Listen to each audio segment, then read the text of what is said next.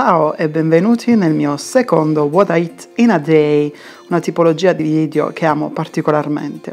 Cominciamo dalla colazione, uno dei pasti che mi piace di più la mattina. Allora, stamattina a colazione ho mangiato questo overnight porridge accompagnato da questo buonissimo tè sencha, è un tè libero in foglie, infatti sotto ci sono un po' di residui.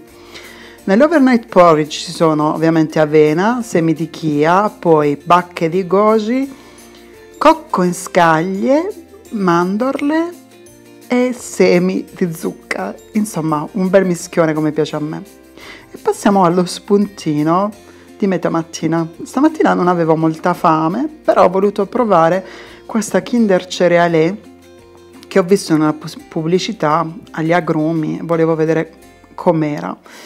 E, ehm, effettivamente è buona e gli ingredienti non sono malaccio. E ho accompagnato la Kinder Cerealé con questo caffè verde, ananas, tè verde e zenzero, una tisana della uh, Viropa che contiene appunto questi ingredienti. Mm, serve ad accelerare un po' il metabolismo, è un sapore molto gradevole. Pranzo, passiamo al pranzo. Allora, oggi per pranzo la mia mamma mi ha preparato uno dei miei piatti preferiti, la pasta e fagioli. Queste splendide lumachine con i fagioli, buonissime. E anche il secondo è uno dei miei piatti preferiti, cioè questa straordinaria frittata di carciofi che come fa la mia, la fa la mia mamma non ce n'è con la maggiorana dentro è buonissima e ho concluso il pranzo con della frutta, in particolare delle nespole.